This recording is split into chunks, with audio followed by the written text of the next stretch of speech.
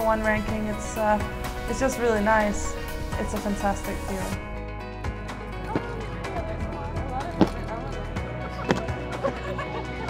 I was trying to scare and then this doesn't even work.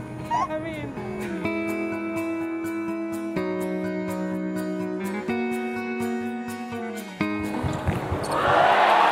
Singapore is sweet for Caroline. A deserving winner.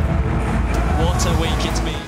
The Australian Open, it was incredible two weeks. We had such an amazing time.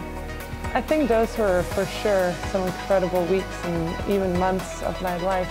I just tried to hold on to the moments for as long as I could. Wozniacki.